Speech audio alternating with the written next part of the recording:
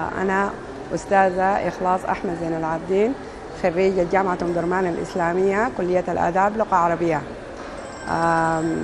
أتكلم عن التعليم عموما. آه والله التعليم أنا يعني إحنا يعني درسنا زمان دراسة كانت فيها أساس ومتوسط وثانوي.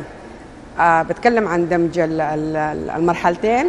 آه من الأساس والمتوسط بقت لحد ثامن فيعني بجد الحكاية دي أنا عندي ولد بيقرأ في ثامن المراحل بتاع بتاعت إنه زول يكون مثلا قرأ من أولى لحد سادس ويقرأ لحد ثامن في نفس المدرسة ثمانية سنة عوامل نفسية ما بيكون الطالب مرتاح على الإطلاق آه الجو داخل المدرسة العيال أعمارهم متفاوتة.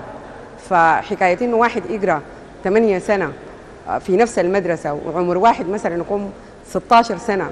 وهو بيقرأ في ثامن مفارقة مع واحد بيقرأ في ثامن وعمره 13 سنة.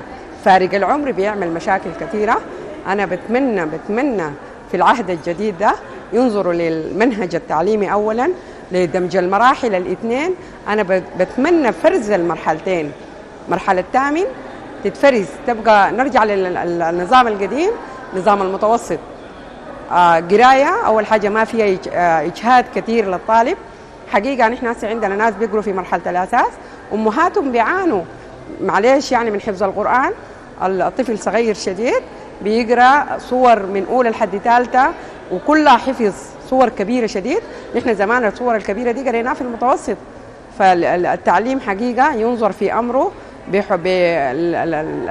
الشغل الجديد بتاع الحكومة الجديدة تعاين للتعليم رجاء بالله. ثاني بتكلم عن الرسوم الدراسية. بجد الرسوم الدراسية في اجحاف كثير على الأسر. آه يعني في ناس بيدرسوا عيالهم في مدارس خاصة ب 14 15 18 مليون. والواحد ما بيكون عنده طفل واحد ولا اثنين ولا ثلاثة. الأسر بيكون أقل في زول في البيت بيكونوا عبارة عن خمسة أو ستة ده الحد الأقصى يعني بيكونوا ستة أو سبعة. فأنا هل بتقدر الأسرة؟ الدخل هو قدر شنو؟ عشان أنا أقدر أوفر لولدي أو بنتي مبلغ بتاع 15 أو 17 مليون آه سنويا للمدرسة حتى لو بالأقساط ستة أطفال الشغله دي صعبة شديد على الأسر. آه فبجد التعليم ينظر في أمره في ظل الحكومة الجديدة. نتمنى نتمنى إنه الحكومة الجديدة تنظر لأولادنا لأنهم هم ديل المستقبل الواعد بإذن الله.